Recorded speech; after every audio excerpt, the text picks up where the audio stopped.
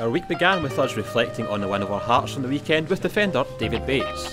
Then it was press conference time with Lee Hodson and Pedro Caixinha facing the media before they handed over the keys to a minibus on behalf of the Rangers Charity Foundation to Erskine. Meanwhile, the Rangers Dream Day took place as the players took time out to greet some lucky fans.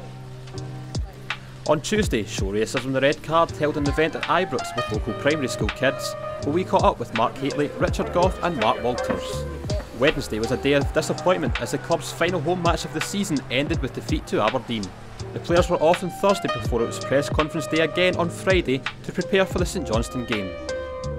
That's it for this week and indeed this season. Remember, Sunday's game at McDiarmid Park is live on RangersTV.tv. Join Tom Miller and Hugh Burns for full coverage.